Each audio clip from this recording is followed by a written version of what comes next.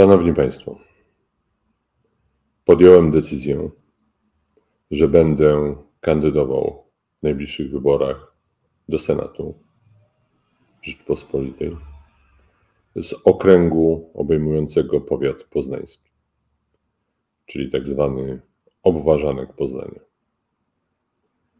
To jest miejsce, gdzie żyłem połowę życia. Tam skończyłem szkołę podstawową, liceum. Tak więc wracam do domu. Wracam do domu, gdzie czeka na mnie mój tata. Ma już ponad 87 lat.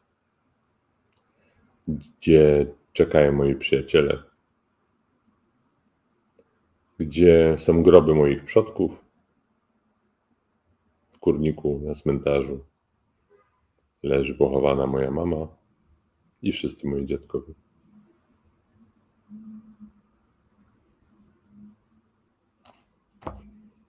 Można powiedzieć, że całe moje pierwsze, pierwsza część życia była związana z tym miasteczkiem, które jest jednym z głównych miast powiatu poznańskiego. W Kurniku przez wiele lat swój sklep prowadził mój dziadek. Jak Państwo patrzycie na e, kurlicką kolegiatę, to pierwszy sklep po lewej, patrzę się twarzą na kościół, pierwszy sklep po lewej to był mojego dziadka. Zmarł, jakbym bardzo mały, jedyne co pamiętam, to jak mi wręczał drożdżówkę, mówiąc: Masz, Romku, tytkę, sznyk z glancem. To repce były dwie drożdżówki dla mnie i dla mojego brata. Tak więc wracam do domu. Liczę i proszę moich sąsiadów, znajomych, wszystkich mieszkańców tego powiatu, aby mnie poparli w tych wyborach.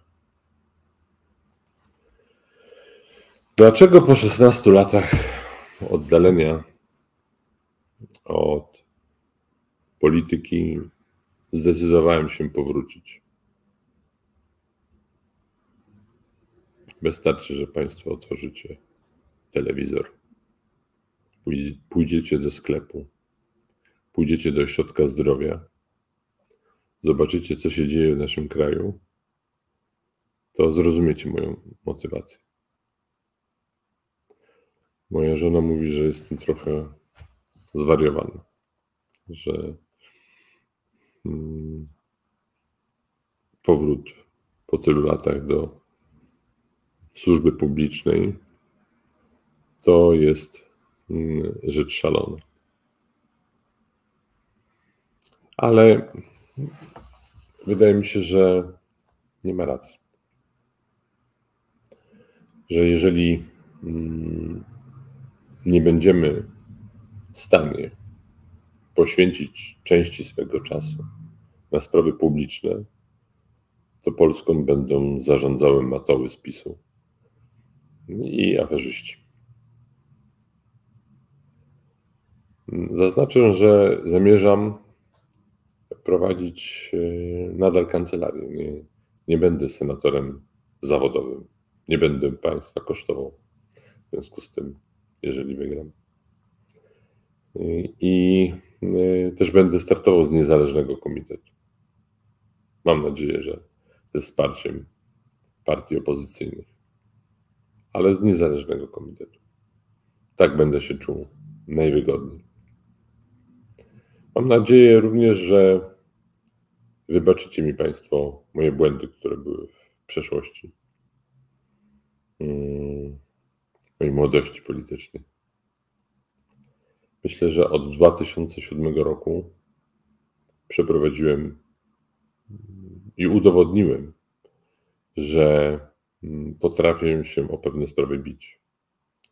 Myślę, że to ja byłem pierwszym, który zorientował się, w jakim kierunku zmierza Jarosław Kaczyński.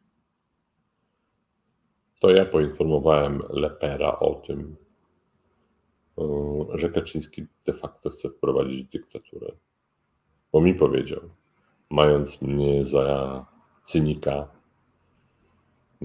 takiego jak Ziobro obecnie, powiedział mi o swoich planach dotyczących przejęcia Trybunału Konstytucyjnego. Tak, tak, 2007 roku już o tym myślał. Prasy, sądów. To wszystko już planował.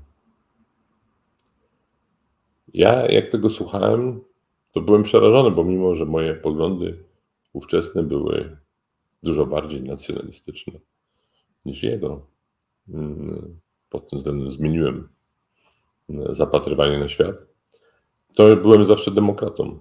Uważałem, że tworzenie autorytarnego państwa to jest jeden wielki błąd. I dlatego w 2007 roku, jak się pojawiła okazja, że no, wyszły na jaw publiczne e, przestępstwa związane z wykorzystaniem służby specjalnej CBA przeciwko Leperowi, to się Kaczyńskiemu sprzeciwiłem. No i myślę, że miałem wówczas bardzo poważny wpływ na to, że się rozwaliła koalicja rządowa i doszło do wyborów, w których Kaczyński przegrał. Mm. Jestem pewien, że bez mojej decyzji wówczas rząd by się utrzymał i wybory się odbyły wtedy, kiedy Kaczyńskiemu pasowało, a nie wtedy, kiedy był kryzys rządowy. Myślę, że miałby dużo większe szanse rządzić od 2007 roku do dzisiaj. Nie byłoby tego okresu 8 lat, w którym polska demokracja okrzepła. Teraz idzie na mm, zwarcie centralne. I obydwie strony nie mają gdzie się cofnąć. Albo pokonamy Kaczyńskiego, albo on zamieni nas w Białoruś. Miejcie Państwo tego świadomość. Że to nie chodzi w, tej, w tych wyborach gra o jakieś ambicje osobiste, o poszczególnych ludzi interesy, o jakieś gabinetowe rozgrywki to chodzi o samą istotę polskiej demokracji. Jeżeli Kaczyński zdoła utrzymać władzę po tych wyborach, to polskiej demokracji nie będzie. Nie będzie żadnych polskich wolnych mediów. Nie będzie żadnego wolnego sądu. Opozycja będzie traktowana jeszcze gorzej niż jest teraz. Znacznie gorzej. Teraz to, że jeszcze nie wszyscy siedzą, zawdzięczamy temu, że nie zdołali przejąć do końca sądu.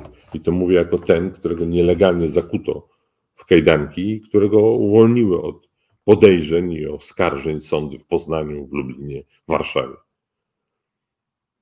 Gdyby nie było tych sądów, to bym sobie mógł pisać protesty z aresztu śledczego oskarżony jakiś fikcyjny, wymyślony idiotyzm.